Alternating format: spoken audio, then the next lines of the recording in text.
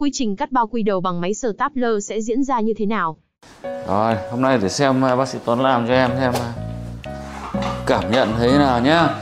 Anh bảo thế nào là em anh sẽ làm được cho em như thế. Anh đo cho em cái máy xem là nó vừa số bao nhiêu. 25 hơi bé. 29 thì vừa. Của em anh sẽ cắt cho em số máy 29 nhá. Máy stapler của em đây nhá. Máy đây nhá. Đấy, máy này sẽ dùng một lần đây anh bóc mới cho em này. Đấy Súng bắn hiện hò luôn nhá Bây giờ anh sẽ giảm đau cho em nhá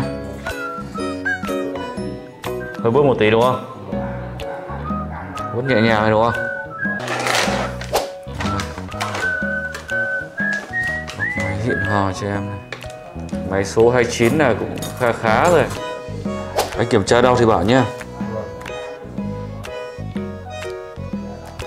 Không thấy gì đúng không? Đó, đặt máy vào. Đấy mà xong rồi Có đau tí nào không em? Êm du đúng không? Máy này của anh máy xịn lắm. Nhìn thấy cả bên trong rồi này. À đúng rồi. Hỏi anh Đầu tiên là sáng suốt. Hỏi bác sĩ chuyên khoa là đúng rồi. Quá đẹp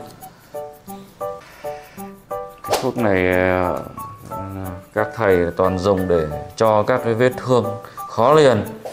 Vết thương thiếu da vết thương tạo hình. Rồi xong. Đẹp chưa? Xong rồi em xong rồi. Chúc mừng nhé. Đây nhá hàng ngày nhá. Về nhá em cứ cầm em túm em nặn đây cho nặn từ từ cho nó mềm lại cho nó khỏi căng khỏi tức nhé khoảng 30 phút đến một tiếng nặn lần kiêng nước cho anh nhé đừng để nước nó vào nhé kiêng nước trong uh, tuần đầu nha. rồi chúc mừng em đã có con chim tuyệt vời